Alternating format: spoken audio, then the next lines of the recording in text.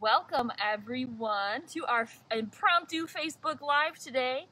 Uh, we're doing it impromptu because we came in and uh, we've been watching these guys emerge from their cocoons all morning and they were ready to go. They're ready to get released, so we're going to tag them and release them today. Um, we've got Keeper Grace and Keeper Eric here today, and we're going to pull out a butterfly. See if I can open the door and get a butterfly without letting them all go.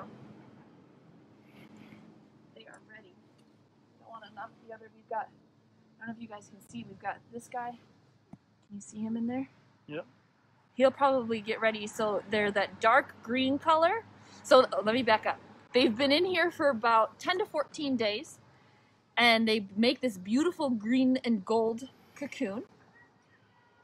And then once they are about ready, so when we came in this morning, um, these five butterflies, I knew they were going to emerge today or tomorrow because their cocoons were nice and clear. Let's see if I can pull one of these off. Woo, I want to pull it off without flattening it. There we go. So they made this that web-like material, stuck it to the top, and then this cocoon became clear this morning when he was ready to emerge. I should say she. The ones that I've looked at so far are all girls, and we'll show you how to tell them apart. So let's see if I can grab a butterfly.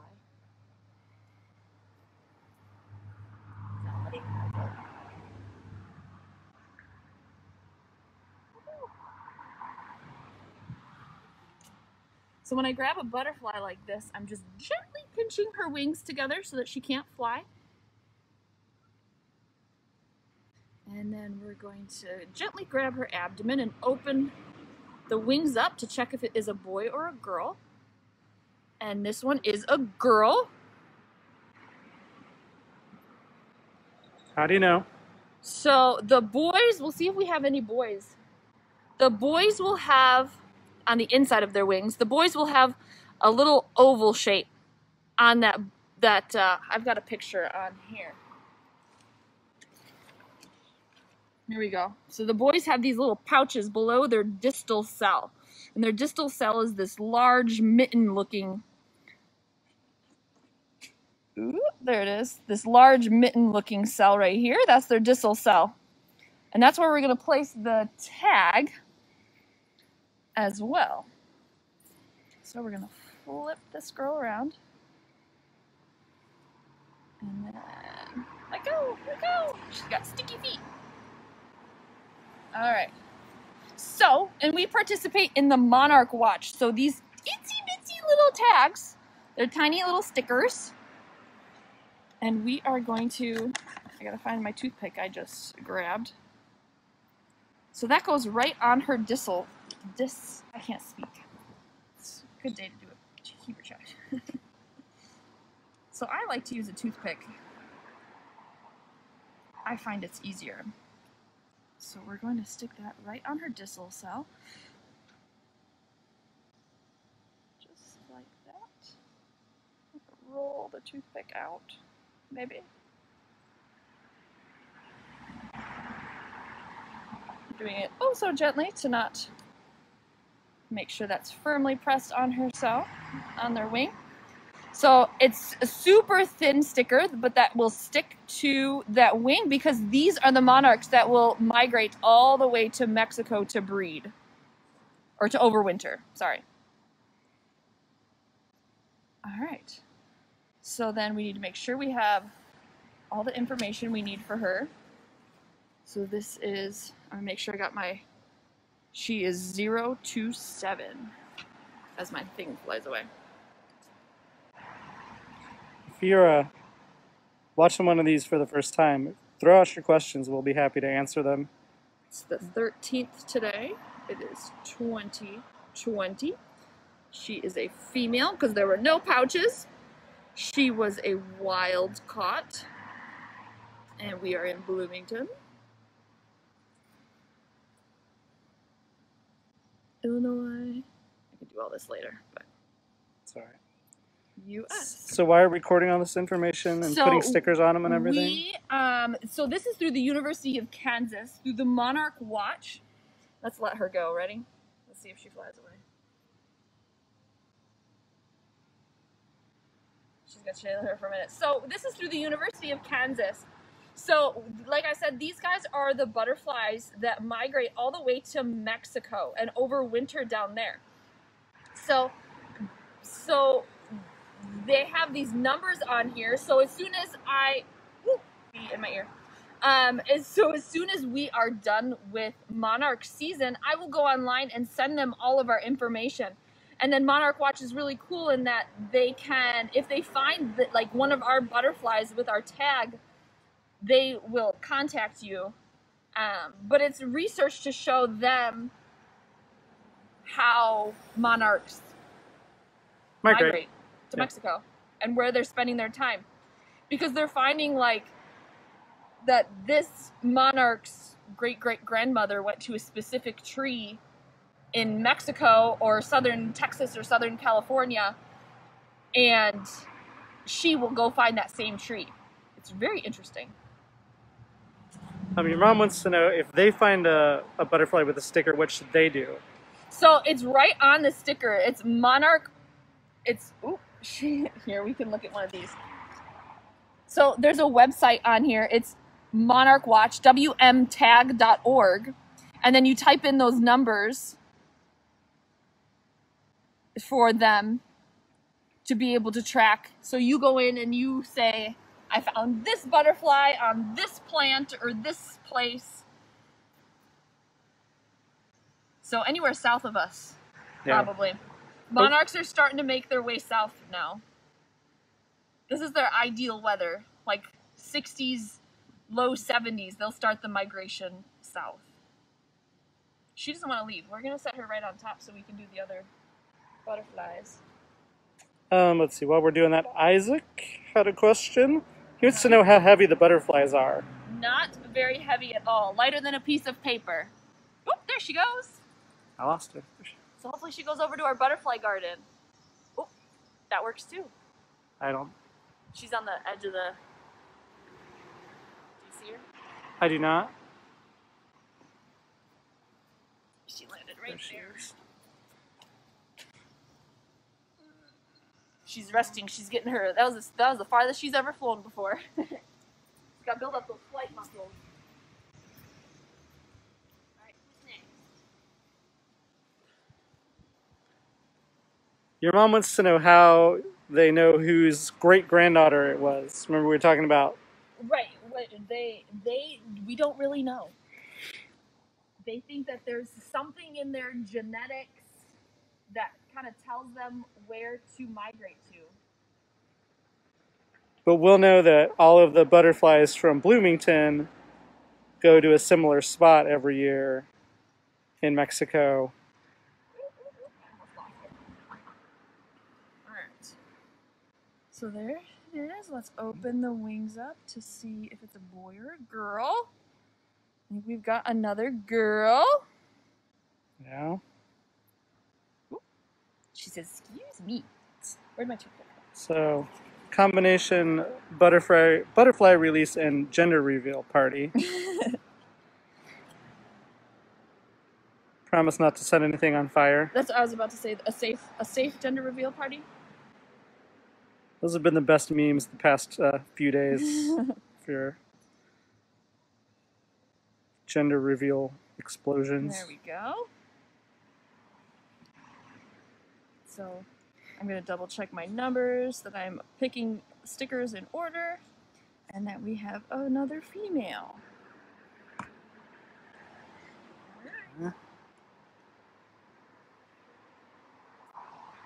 She's too fast you for me. see, right?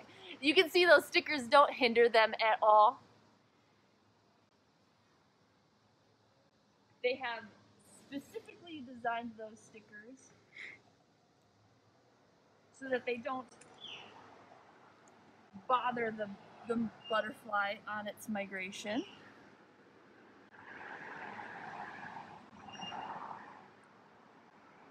Looks like another girl. Oh my goodness. Wow, I don't think I've ever had this many girls before. Butterfly Lilith fair or something.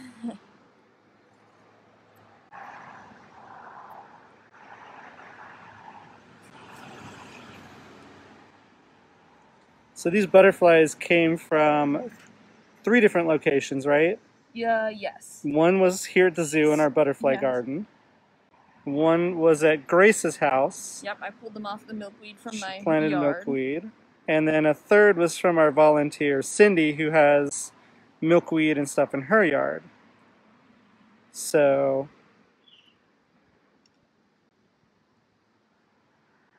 Alright. Wait, what's your number? Sorry. 29.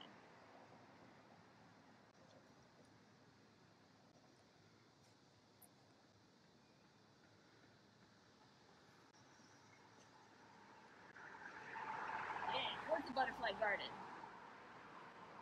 Look at her go.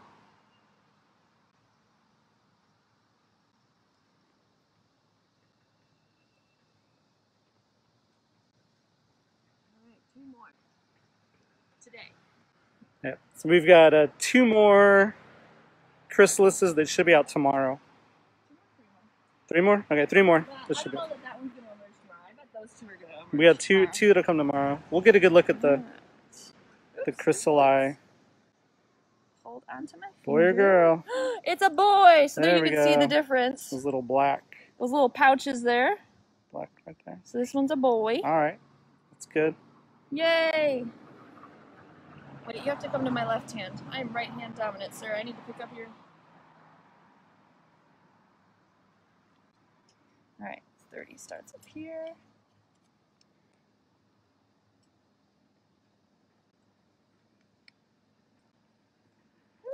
I think. Uh, what are we gonna release today? Five. Yes. Okay. Yeah, five emerged. Five. Five. We're gonna release today. So So we had a bunch of caterpillars, but some of them just yeah, it hasn't been a good. died right away. It hasn't been a good caterpillar year. I've read. Let go. All right, make sure that sticker's on him. All right, we've got number thirty. Here he goes. Oh, long way, dude.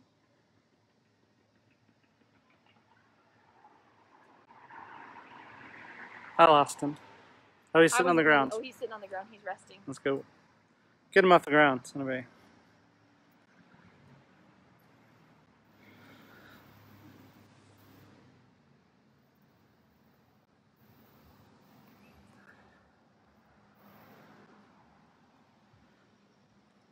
But, ooh, that was a lot of work. It, it figures that the girls all took off and knew what they were doing, and he just kind of he's like, ooh.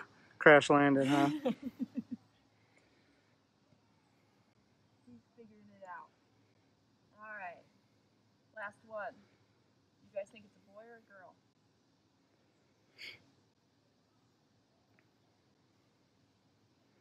Any guesses? Who wants to guess, boy or girl?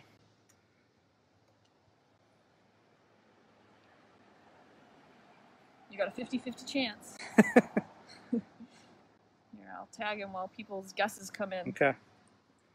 Him or her. That was a gender neutral. that wasn't a It. an it. I will tag it while guesses come in. There's the distal cell. This one's little.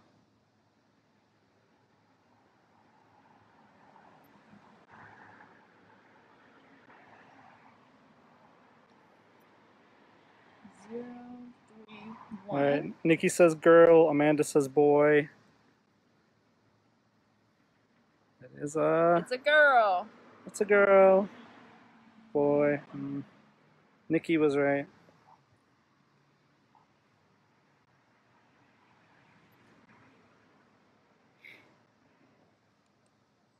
So yeah, like I said, these guys are like, what would it be like, third generation breeding here. So the monarchs that have been here all summer, they just continually breed. And then these guys have the longest lifespan. They will migrate all the way down to Mexico or that area. Some of them make it to like Texas and stop, California and stop hopefully the smoke from California does not affect their migration too much. I bet it will have some effects though. Yeah, these guys have really good internal oh, compass is the right word, Yeah. but uh, they uh, they they a lot of the birds will fly like at night even. They they don't even need Right. light. They just have like an electromagnetic sensor, I guess, in their head Right. to know which way is south, and they just keep flying and all the way to central Mexico. Uh, Nikki says she's got two at home in Chrysalis right now. Oh, that's exciting. Pretty sweet. And Allie just joined. She wants to know why we're putting stickers on them. So we put stickers on them because these are the monarchs that will migrate all the way down south to Mexico, California, Texas, that area. And they will overwinter down there. And so you can, if you find a butterfly with a sticker like that on there, there she is. She doesn't want to show it off. I'll get, a, I'll get a different one. Yeah. Here, you can see the stickers on their sheet still. so. Oops. So if you find a monarch with there, you can log on to the Monarch Watch website. And oh, there she goes. Off to the butterfly garden. Um, they have individual numbers and letters that is their special ID. And that way we can track, okay, this caterpillar um, cocooned from Illinois and they made it down to southern Texas.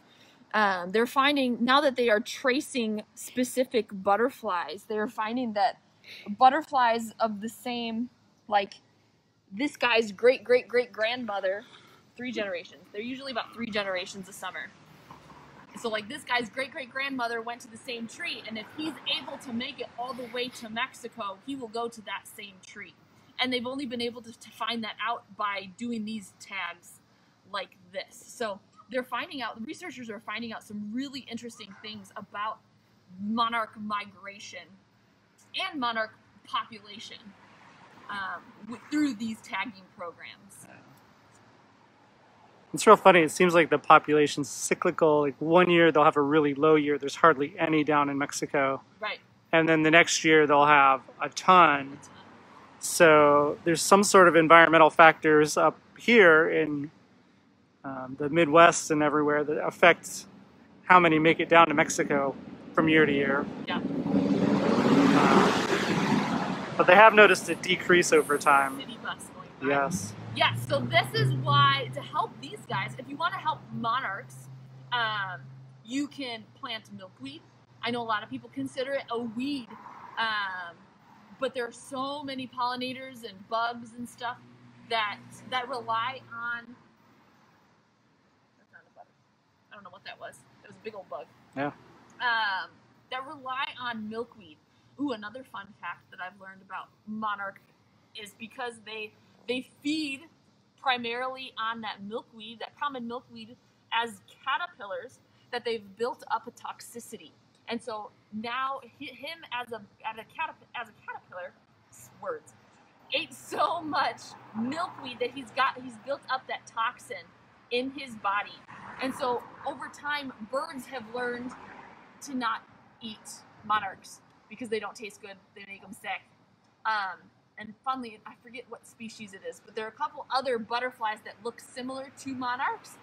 Um, and it's believed they've kind of developed like that because they're kind of trying to mimic monarchs, and so birds won't eat them. Right. Uh, ben wants to know how long it takes them to migrate. Um, it takes them. That's a good question. I used to know this. What is it? It's not very long. It's a couple weeks. Like they'll be down there by the end of October, I think. For a butterfly, you For know. a butterfly, it's not that long. right. It, it, it is. If you think about it, I wonder if my little cheat sheet tells me. I will. I will look. Oh, this this tells me they have an average pace of 25 to 30 miles a day, which is pretty impressive for an insect that size. Yeah. Um, can anybody do the tags? Can anybody be part of this Monarch Watch program? Yes, anybody can do this. Um, I know several people that do this kind of just in their home with their kids. Um, go to monarchwatch.org, I think is the one that, that we've gone through. Um, and so that you can order the tags online, and you will get this sheet that looks just like this with your little tags, stickers, and you document all your information, and then go back onto their website and log all that information for them. But Monarch Watch is a great resource if you want to get into helping monarchs out. And also, this is why, uh, especially if you live along the monarch migration path, um, in this area, it's kind of along the Mississippi, down down to Mexico and uh, Texas and Mexico, is to plant those pollinators, pol- yeah, pollinator plants that they like, and don't use pesticides. Right. Milkweed is a butterfly's friend, Yes. and they've started eradicating it all along the highways and the edges of fields and things like that. Yeah. And it's really important for the, the pollinators. Yeah, it's really important for you're just gonna chill here. You want me to take you into the butterfly garden? We had one more question, I thought. Sure. Oh, uh, gonna take you over. Amanda wants to know: Does the ACBU stand for something, or is it just No, it's just the Random it's, letters. It's just the random letters that we got on our tags this year.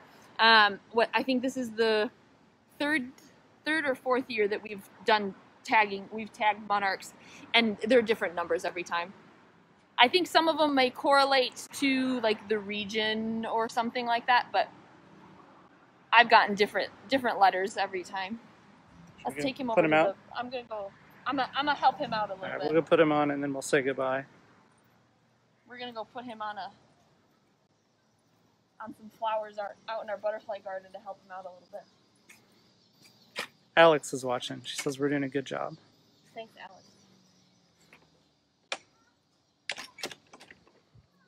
Alex hasn't been out in a while. She needs to come see us. Yeah. Here, let's pick him up here. Right next to a bumblebee. Don't sting me, bumblebee. You want to go up on that flower? Oh, he says yes, please. There you go. It's a big bumblebee, isn't it? Wonder if it's is it one of our bees? No, it's too big. Oh. We have. Oh, we have honeybees, not bumblebees. Yeah. I'm not a bee person. Can you tell? Bees and I don't get along. I know they're important. We have a healthy respect for each other. Anybody else fun in the pollinator? You can kind of listen. Yeah, you just kind of see the movement. I don't spend too much time doing it, but you can just see the bugs Yeah, there's buzzing around. bees everywhere. Super important. Lots of bees, lots of little moths. Uh, how many years have we done this? Four or five, something like that. The butterfly garden or the monarchs? The Monarch Watch. the monarch watch. I think this is year three or four. So, I think four. there's a ton of them everywhere. There, are a lot out today. Oh, oh Benny's gone. There's another one up here. I just saw. I. There's another one up by our butterfly friend. Yeah. There's a lot up there.